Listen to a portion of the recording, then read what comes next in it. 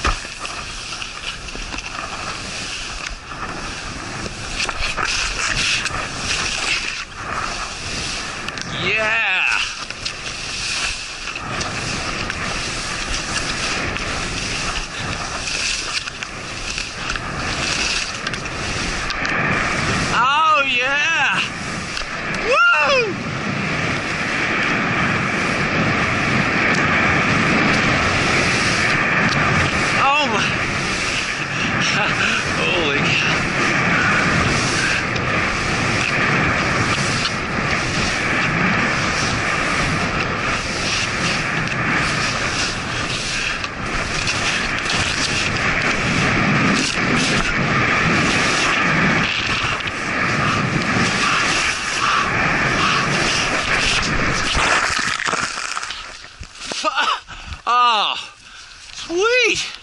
Oh my, that was the best run all year.